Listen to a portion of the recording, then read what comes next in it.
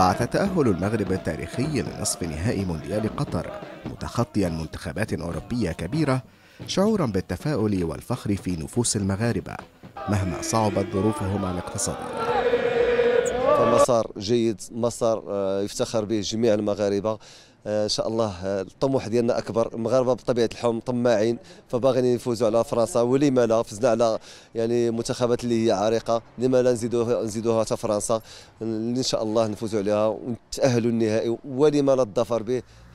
وعانى المغاربة غلاء أسعار الوقود وبعض المواد الغذائية في الأشهر الماضية بسبب تضخم وصل إلى 8.1% في نهاية تشرين الثاني نوفمبر لكنهم اليوم في غاية السعادة يحتفلون بانتصارات المنتخب التي وحدتهم مهما كانت ظروفهم. المنتخب نستنى في المشاكل وفي ذاك المرض اللي نهض معنا ديال الغلاء وديال قلت الحركة وقلت المدخول ما كايناش والدراوش كلهم محنين. لاني وكيصور داك الشيء ما كيكفيش كيولي واحد العقدة نفسية. ورغم انتعاشة صادرات السيارات والفوسفات والسياحة فإن تداعيات الجائحة ما تزال مؤثرة حيث أعادت مستوى الفقر إلى المعدل الذي كان عليه في العام 2014 بطبيعه الحال كاين جفاف وكاين الغلاء الأسعار زادت بزاف ما نقولكش. ولكن آه، مع كرة القدم ضروري خصنا نحتفلوا حيت حنا ضروري مغاربة. وغنزيدوا نحتفلوا معاهم. واخا ما يديوهاش غنزيدوا نحتفلوا معاهم.